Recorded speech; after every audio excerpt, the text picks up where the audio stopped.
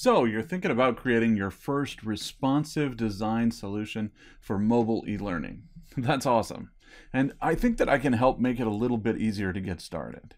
Adobe Captivate now includes the ability to create a responsive project right out of the box. All you have to do is click on this little responsive box and it'll automatically launch a new responsive project for you.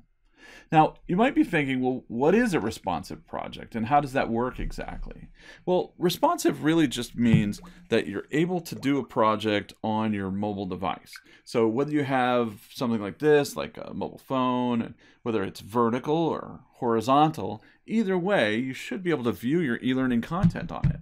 And likewise, your learners might have something like this, like a tablet, and they might hold it vertically, or again, they might hold it horizontally. And they should be able to see that content regardless of how they're holding the device.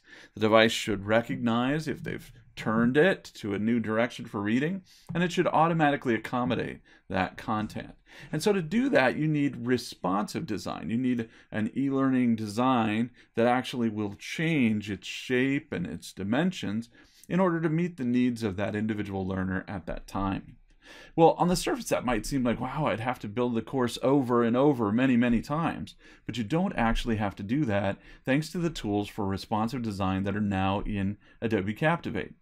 The cool thing about it is that you're actually going to be able to build interactive, amazingly engaging e-learning content, much like you did with Captivate before, but you'll now also be able to respond to the different screen dimensions. If we look at Captivate, you can see here I have a responsive project that now has been created. And like before, you can have many different themes. You can choose from a variety of themes that are available in the menu there. Choose whichever theme you happen to prefer that you think is the one that you want to work with. I'll choose this one right here for, for today. I'm just going to load up the Nimble theme. And when I load up the Nimble theme, I'm actually loading more than one version of the course. Watch what happens when I go from primary to tablet and then over to mobile. I actually get different layouts for each different version of the course. And as a result, when you create content for your course, you're actually creating all at the same time. Now we use a structure which is like a parent-child hierarchy. And a parent-child hierarchy means that the parent, what, what happens with the parent impacts the children. But what happens with the children is kind of independent and it doesn't flow back up to the parent. So let's think of it this way. Um, I can call my course Cool Stuff, just like this. So I've given my course a name Cool Stuff. Now we're in the primary display, so this is the parent. When I look down at the tablet, it says Cool Stuff. And when I go all the way down to the mobile, it also says Cool Stuff. But in a fascinating twist, it doesn't work the same the opposite direction. So if I come down here and say cool mobile phone stuff on this one, because this is the child, it will not propagate back up the chain up to the parent. So it's very important that the first thing you understand about creating your responsive projects is that what goes downstream does not come back upstream. So when you're building, start with the primary and it'll all propagate down.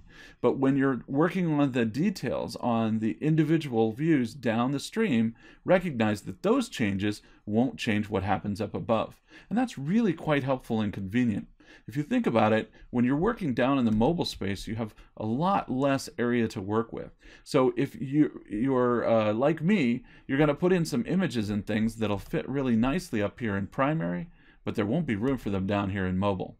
No worries. You can just grab that image and throw it off to the side. Captivate will recognize that you mean don't display this in the mobile version of the course. So as you're building your course content out, then you're simply going to build it as you would normally. You can use the themes and templates just as you would before, and you can even create your own custom themes and templates for your projects. To create a new slide, you just Control Shift V, just like you would have done before. So each step is similar to what you would have done in the past. Now, I want to prepare my course so that it'll actually display well on a Android device. And by default, this is set up so that it'll display well on an Apple iOS mobile phone.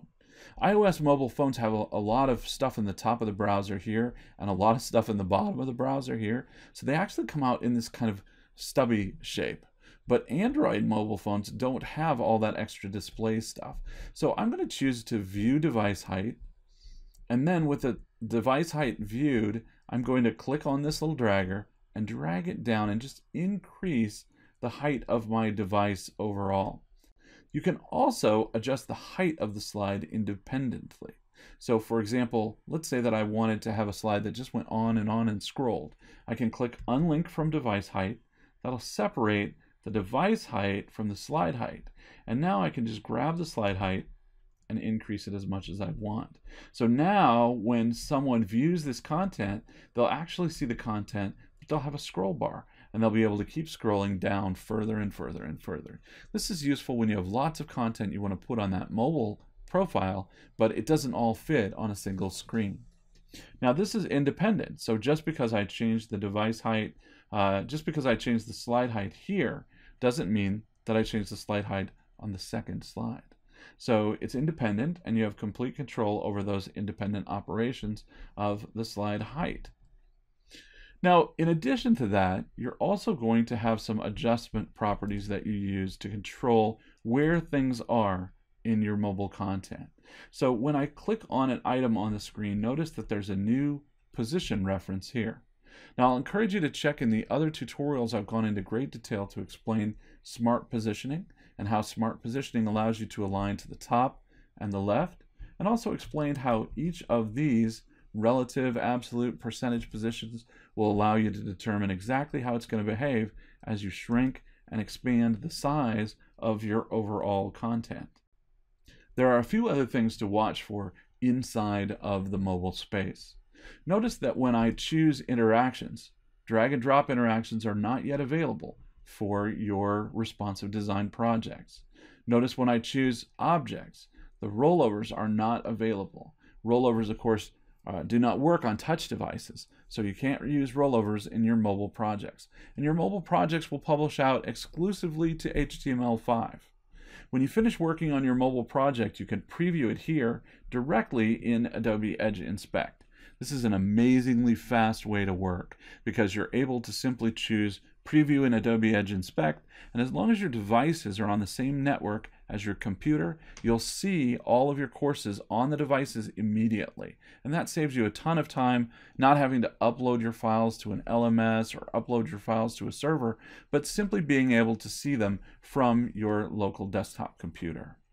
You can also publish your content out either for devices or publish it to Adobe Connect.